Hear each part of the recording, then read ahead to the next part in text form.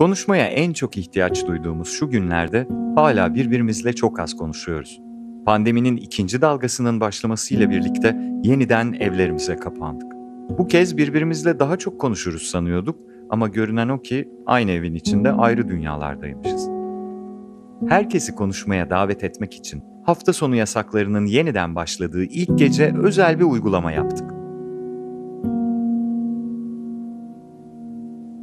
Bu özel geceye Kırmızı Oda ile başladık.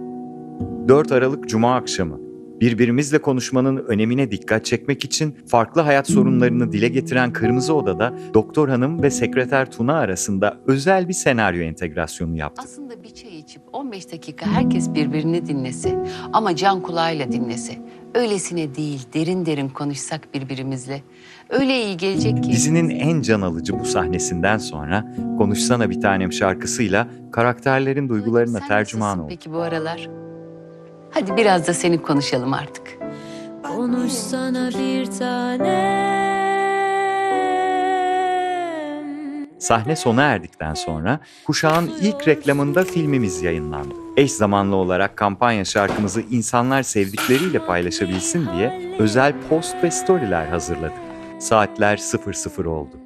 Gecenin en çok izlenen yayınında çaylarımızı doldurduk. Bir saat boyunca mücbir sebeplerde konuşalım artık dedik. Bir gecelik entegre bir kampanya sayesinde 86 milyon izlenmeyle, 20 bin adet tweetle, mücbir sebeplerde 66 bin izlenmeyle evlerinde kalan herkesin dikkatini çekmeyi başardık. Ve hepsinden önemlisi gece boyunca şunu hatırladık.